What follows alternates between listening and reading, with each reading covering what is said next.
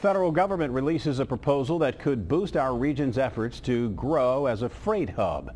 The Army Corps of Engineers is considering an expansion of Cincinnati's Ohio River port boundaries. It would grow nearly 200 miles from Huntington, West Virginia to the Louisville region. The current port of Cincinnati covers just 26 miles. Local development leaders say the new boundary will help better market the region to freight companies.